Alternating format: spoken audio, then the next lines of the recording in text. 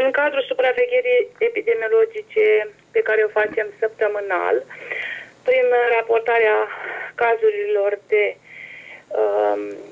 infecții respiratorii acute, uh, viroze sau gripă, de către medicii de familie, precum și de către unitățile spitalicești din județ, Vă precizez că în săptămâna precedentă, între, în perioada 9-15 octombrie, s-au înregistrat uh, 1656 de cazuri de infecții respiratorii acute, cu un, un număr total de 13 internări. Constatăm că se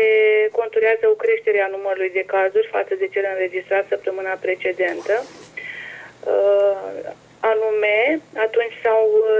înregistrat 1028 cazuri cu 10 bolnavi internați. Tot pentru perioada săptămâna precedentă s-au înregistrat 436 pneumonii cu un număr de 90 de internări, în creștere față de 277 cazuri cu 62 internări, înregistrându-se în săptămâna precedentă Uh, practic o conturare tot a, a creș- și o creștere a numărului de cazuri, da? Precizez că cele mai multe infecții respiratorii acute au fost la grupele de vârstă de 2-4 ani, 15-49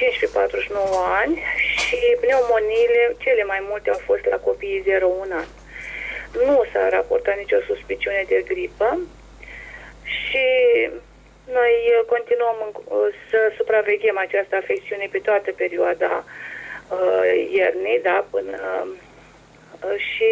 vom recomanda mereu și recomandăm populației să asculte sfatul medicilor, să respecte regulile de igienă pentru evitarea îmbolnăvirilor prin viroze și să consulte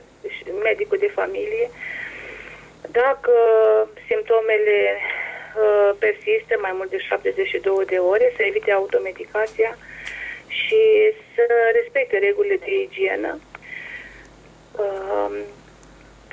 și să consume neapărat alimente bogate în proteine, fructe și legume.